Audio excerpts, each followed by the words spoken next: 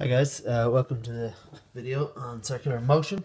Um, our topic today is radian measure. We're working with uh, Fundamental Applied Maths, chapter 11.1, um, circular motion and radian measure.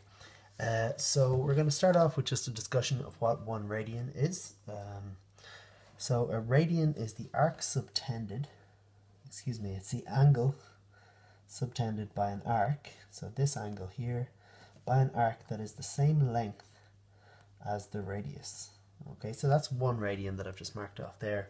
Uh, you can see here with this little piece of paper is one radius length. Actually, color that in so you can see it. Okay, that's one radius. And if I was to mark it around the outside here, it's the same length here. Okay, so let's see if we can see that. Okay, so you can see it's approximately the same. You might trust me that it is the same. And uh, if we measure around, we can see here's another radius length I haven't marked already. Third radius length along here. Uh, so question you might ask is how many radians is there in a full circle?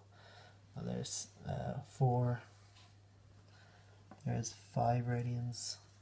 So six radians and a bit. Okay, so that might be a bit unsatisfying, but there are uh, 6, that's about a 0.2, 0.3. Um, I actually, uh, I know it to be, there are 6.28 radians, which is one turn. Okay, uh, the reason I know that, you might recognize that number as twice pi. Okay, where pi is roughly 3.14.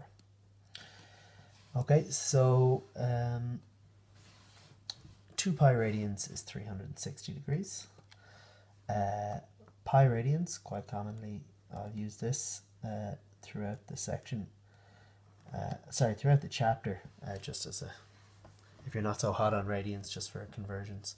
Uh, pi radians are 180 degrees and there are 2 pi radians in one full circle, okay? Um, that leads us to a relationship. Uh, if that's the radius there, um, the arc that you subtend could be any section of it. Okay, but that angle that I'm subtending here, I'm going to call it theta again actually just because the formula usually works with theta, uh, is given by, in radians, it's whatever that arc length is divided by the radius of the circle. Okay, so there's our um, relationship between arc length, radius, and angle subtended. So angle subtended, this is the arc length here, um, and the radius. Uh, so with that in mind, we should be able to go and do all of these questions on page 191, question 1, part 1 and 3, 2 parts 1 and 3, question 5, uh, 7 and 9. So question 1 says a circle has radius 20 centimeters, find in radians the angle subtended by an arc of length uh, 40 centimeters and then 15 centimeters. Those are the two I'm going to do. Uh, so circle has radius 20 centimeters. Okay, so there's 20. And if you subtend an arc of 40 centimeters, well, that's two radius lengths. So you can say that's two radians. Using a formula, theta is s over r. Well, it's 40 divided by 20, and the answer is two radians. Uh, you don't actually have to write in rad for radians. It's what we call a dimensionless unit. If you look here, centimeters over centimeters cancel. Uh, but we normally or we often write in rad just to show that we're working in radians. For the second one, if it's a 15 centimeter arc, so it's a shorter arc now, it's less than one radian, you can see um, 15 is less than 20. 15 over 20, it's 0.75 radians. Um, question two, if a circle has radius 5, find the length of the arcs with subtend angles of magnitude 3 radians or 1.2 radians. Okay, so this time we're told the circle has a radius 5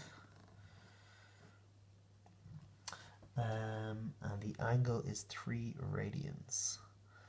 Okay, so hopefully you can see that means that needs to be 3 fives. Okay, so it's 15. Uh, rejigging that formula, arc length is r theta. So that's what we're using here.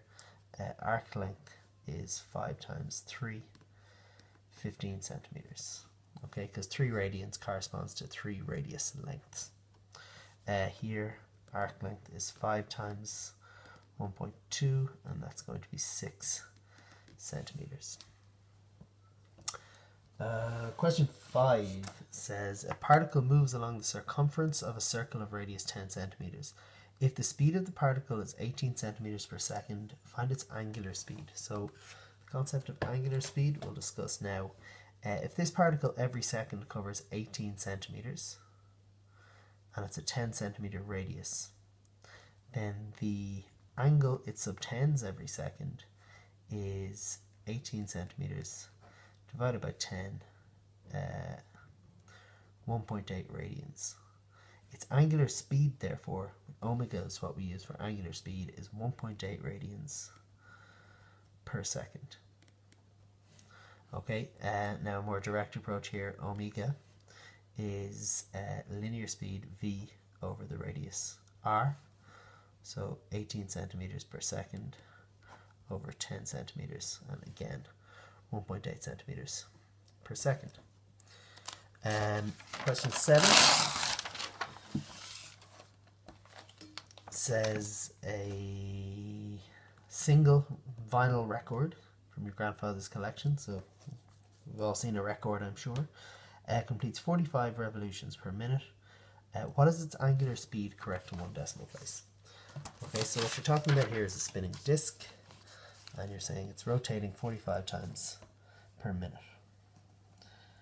Okay, so it's doing 45 rotations, 45 RPM. Okay, well, what's that? In radians, uh, one rotation is 2 pi.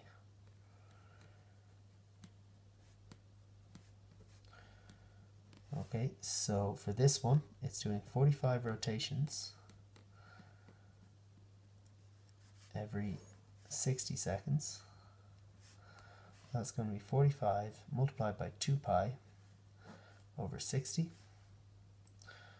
which is 90 pi over 60. Zeros cancel.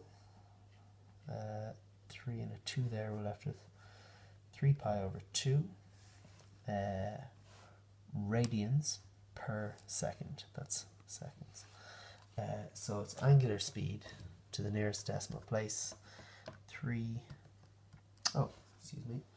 Uh, its angular speed to the nearest decimal place is going to be 3 pi over 2 is Oh dear, no, my calculator's working. Oh, this one is working. Sorry about this. Uh, 3 pi over 2. So its angular speed is 4.71 uh, radians per second.